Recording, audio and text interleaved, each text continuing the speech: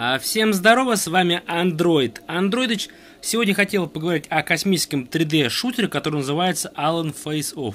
А в самой игре можно выставить качество графики максимальное, у меня стоит Beautiful, то есть нет, у меня стоит Simple. Вот я поставлю Beautiful, и графика будет очень-очень э, крутая. Уровни очень красиво нарисованы, опупенно, можно сказать. В игре мы будем использовать различные виды оружия.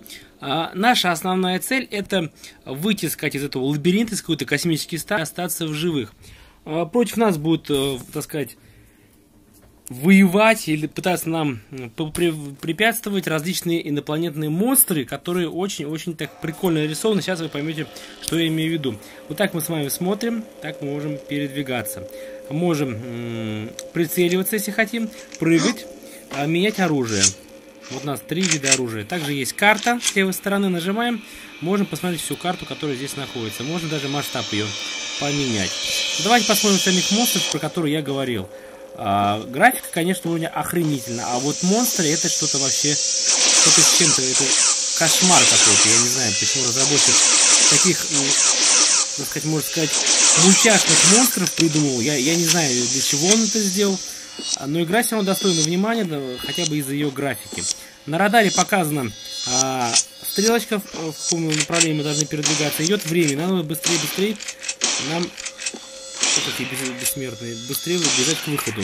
Вот эти различные инопланетные монстры, они, когда их убиваете вы, а, дают различные бонусы, там, патроны, жизни, а, которые вам помогут, так сказать, выжить а, в данной игре.